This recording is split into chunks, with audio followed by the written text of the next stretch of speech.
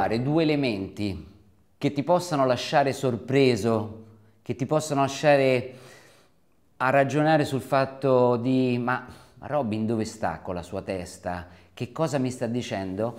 E dovessi parlarti del futuro e di che cosa potrebbe cambiare in maniera decisiva rispetto a ciò che stai facendo adesso per comunicare e fare il tuo marketing, due cose principali mi vengono in mente.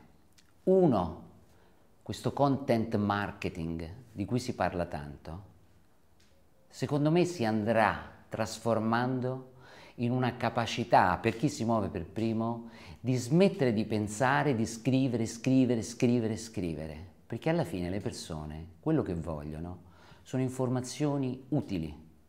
Quindi, step piccolo, passare dal semplicemente riempire pagine di testo al dare informazioni immediatamente utili, non opinioni personali.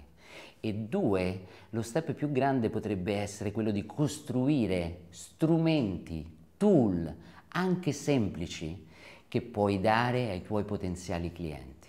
Guarda, gli strumenti e i tool possono essere sia documenti cartacei dove non c'è un articolo, così come possono essere dei tool su una pagina web. Facciamo due esempi terra-terra.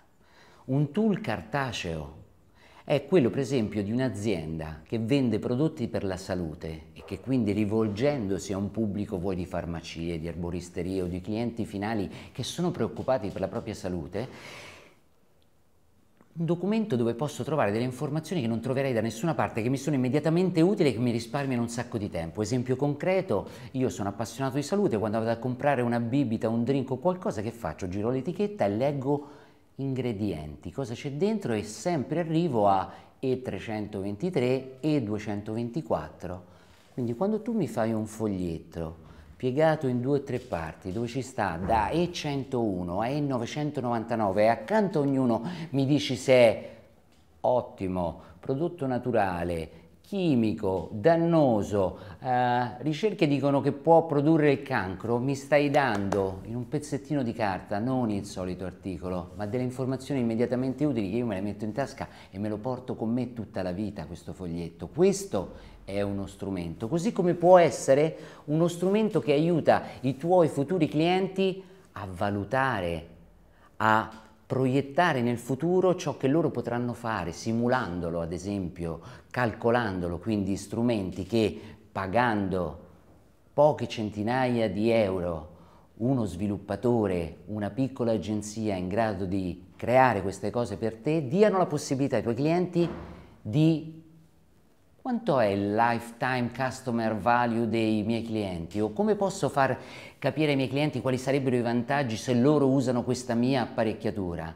Posso far programmare una paginetta dove inserendo i loro dati loro hanno immediatamente una proiezione di quelli che saranno i loro ritorni, il risparmio di gomma sul pneumatico che stanno usando piuttosto che la quantità di acqua che dovranno usare per il tuo sistema di irrigazione.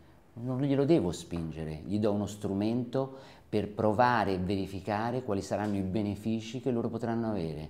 Ci sono, li avrai visti, tanti siti che sono uh, riusciti a conquistare un grande pubblico senza avere nessun blog, nessuna sezione news, nessun articolo, hanno una pagina con un tool che spacca.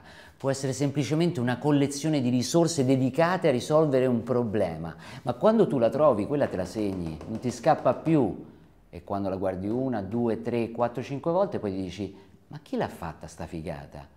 Ma dove la trovo un'altra cosa così? E vai a leggere in fondo e scopri che dietro c'è un'azienda che fa qualcosa, che costruisce dei prodotti, degli apparecchi ed è così che la scopri, attraverso l'utilità che lei ha creato per te.